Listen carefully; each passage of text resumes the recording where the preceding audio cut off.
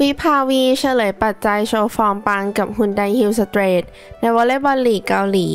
วันที่ 20 มกราคม 2567 คนหลงการแข่งขันวอลเลย์บอลโคโว V-League เกาหลีฤดูกาล 2023-2024 รอบ 4 ฮุนไดฮิลสเตรทของมดวิภาวี ศรีทอง เอาชนะกวางจู เปปเปอร์แบงค์ไปแบบสุดมัน 3 ต่อ 1 เซต 25 ต่อ 9 29 ต่อ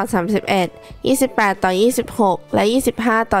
19 ส่งผลให้ทีมครองจ่าฝูงหลังจบเลก 4 หลังจบเกมมดวิภาวี ศรีทองได้ออกมาเฉลยปัจจัยที่ส่งให้เธอโชว์ฟอร์มปังกับฮุนไดฮิลสเตรททีมต้นสังกัดในวอลเลย์บอลลีกเกาหลีใต้โดยระบุว่า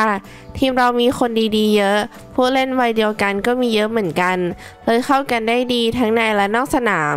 ก็เลยทำงานร่วมกันได้ดีทำให้ฉันมีความมั่นใจมาก โปรแกรมนัดต่อไปฮุนไดฮิลสเตรทมีคิวพบกับกวางจู เปปเปอร์แบงค์ในวันที่ 31 มกราคม เวลา 17 นาฬิกา ขอขอบคุณแหล่งที่มาข่าวจากไทยรัฐค่ะ และเพื่อไม่ให้พลาดข่าวกอสซิปดารา อย่าลืมกดติดตามเพื่อรับชมคลิปใหม่ๆ ทุกวันได้ที่ช่องดารากอสซิปขอบคุณทุกท่านสำหรับการรับชมและติดตามค่ะ